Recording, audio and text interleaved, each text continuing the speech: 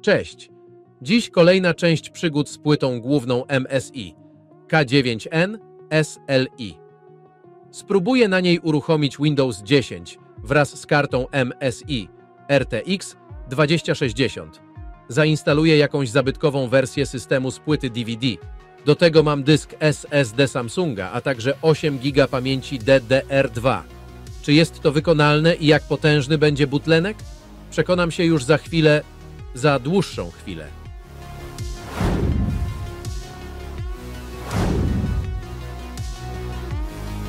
Uruchamiam komputer.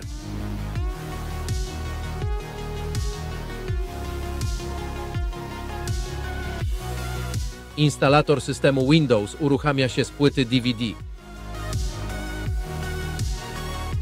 Instalacja trwała niecałe 28 minut. Not great, not terrible. A sam system jest nieresponsywny. Przywiesza się w losowych momentach. Użycie procesora to cały czas 100%. Zainstalowałem aktualizacje i sterowniki. Było to naprawdę męczące doświadczenie.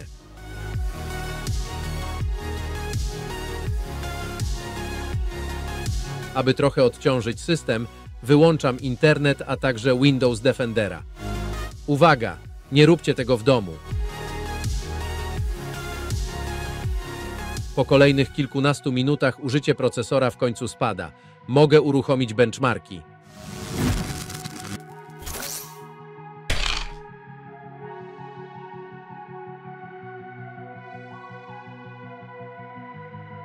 Pierwszy do boju przystępuje 3D Mark 2001 SE. Działa naprawdę płynnie. Osiągnięty wynik to 13 800 punktów. To tylko o 1000 punktów więcej niż osiągnęła karta GeForce 7600 testowana na tej płycie głównej. Drugi benchmark to 3D Mark 2003. Zaczął nawet nieźle, ale po chwili pojawił się niebieski ekran śmierci i musiałem uruchomić test ponownie. Osiągnięty wynik to skromne 20 380 punktów. To jest wynik lepszy o 58% od GeForce'a 7600 testowanego na tej płycie głównej w konfiguracji SLI.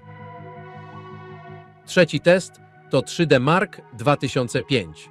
6562 to 5% słabiej niż wspomniana już wcześniej karta GeForce 7600.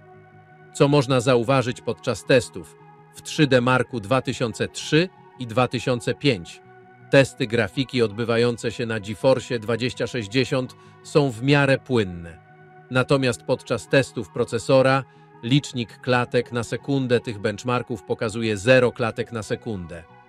Ewidentnie mamy tu do czynienia z potężnym butleneckiem. Jednordzeniowy Athlon jest po prostu zbyt słaby.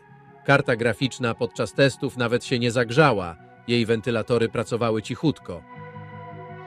A czy pójdzie na tym Doom? Uruchamiam tegoroczną, odświeżoną wersję klasycznego Doom. Gra jest totalnie niegrywalna. Próbowałem zmieniać opcje grafiki, ale niestety nic to nie pomogło.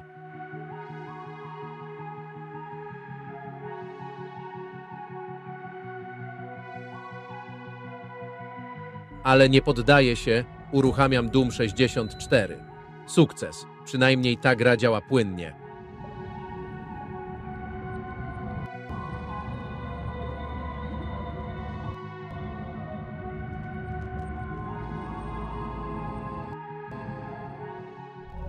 Podsumowując, podczas moich testów próbowałem uruchomić nowoczesną kartę graficzną MSI RTX 2060 na starszej płycie głównej MSI K9N SLI, korzystając z procesora Athlon oraz 8 GB pamięci DDR2. Już na starcie zauważyłem spore różnice technologiczne między nowoczesną kartą graficzną a przestarzałym procesorem, co spowodowało poważny bootlenek. Wyniki benchmarków były zaniżone, a karta graficzna MSI RTX 2060 działała płynnie, nawet się nie nagrzewając. Jednak gdy dochodziło do testów procesora, liczba klatek na sekundę spadała do zera, co jasno pokazało, że jednordzeniowy Athlon 64 nie jest w stanie nadążyć za nowoczesnym GPU. Podczas testów system często zawieszał się, a instalacja aktualizacji i sterowników była żmudnym procesem. Pojawiał się też niebieskie ekrany śmierci.